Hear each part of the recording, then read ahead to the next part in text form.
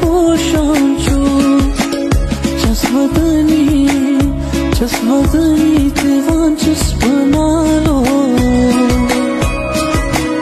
Awalomia